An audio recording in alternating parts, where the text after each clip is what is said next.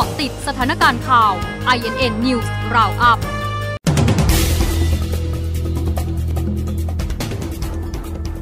14นาฬิกา14 นาที นายแพทย์เกียรติภูมิปลัดกระทรวงสาธารณสุขนัดตรวจ ATK ก่อนเดินทางกลับ และเริ่มทำงานงดการรวมกลุ่มสังเกตอาการ 14 วัน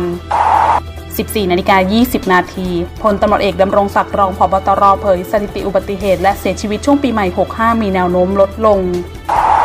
14นาฬิกา35 นาที กกตกำหนดวันเลือกตั้งซ่อมหลัก 4 30 มกราคม เปิดรับสมัคร 6-10 มกราคมนี้กำชับเตรียมพร้อมยึดมาตรการป้องกันโควิด -19 ล่าสุด 14นาฬิกา46 นาที พรพิษเพชรเจริญเลขาธิการสภายืนยัน work from home 100%ถึง 9 มกราคม เข้มมาตรการป้องกันการแพร่ระบาด รอฟังสาธารณสุขฉีดวัคซีนบูสเตอร์เข็มที่ 4